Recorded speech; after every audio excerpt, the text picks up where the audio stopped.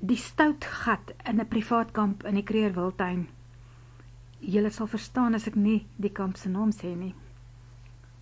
Daar's leeu's by die watergat, het 'n vreemde man die woord daardie aand gedurende die Julie vakansie versprei. Mense het hulle kampvure en stoepkuiers net so laat vaar en gedraf na die plek waarheen hy bedui het. En so waar, daar in die lig van die volmaan, was die troppie leeu's duidelik sigbaar en hoorbaar aan die drink. Terwyl almal daar by die straat saamgedrom het, het Marie 'n man met 'n kind aan die hand teen die heining sien aankom. Wat haar opgeval het, was die feit dat hulle nie in die rigting van die leeu's gekyk het nie, maar net voor hulle. Marie het hulle opgewonde voorgekeer en gesê: "Sien julle die leeu's daar by die watergat?" Die man en die kind het eenvoudig aanhou loop. Maar Marie kon duidelik hoor hoe iemand sê: "As jy 6 maande in die kamp vasgevang is, is leeu's by die watergat nie meer snaaks nie." "Wie sê so?"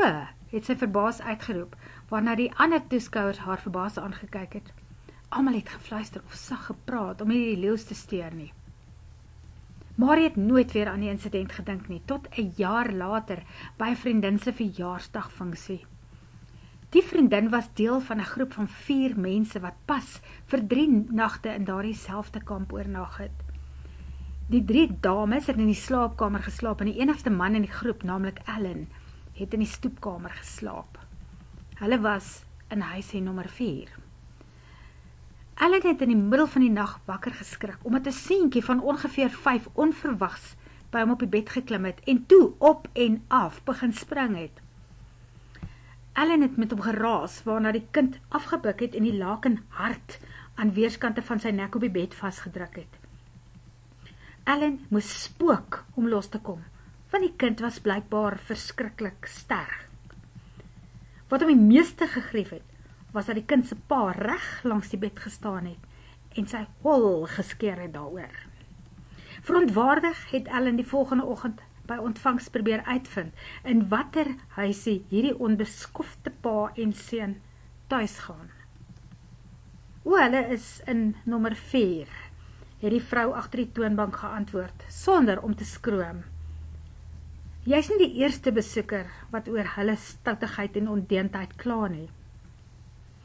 Het jy gesê nommer 4? Ja, nommer 4.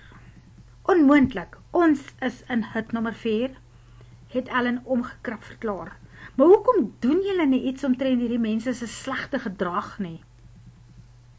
Nee, dit is nie so eenvoudig nie, het die vrou gesê. En toe het sy hom vertel van die pa en seentjie wat 'n paar jaar tevore in nommer 4 tuis gegaan het. Na afloop van hulle vakansie is hulle vroeg die laaste oggend by Krokodilbrug uit. Tussen Hector Spruit en Malelaan het iets skeef geloop en hulle kar het onder 'n trok beland. 2 aande later was pa en seun terug in die kamp om te bly.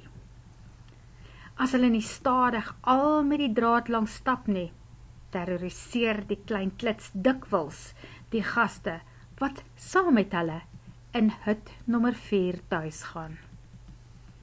Das as jy nog stories wil hoor, spookstories, gaan skakel asseblief in by die YouTube kanaal.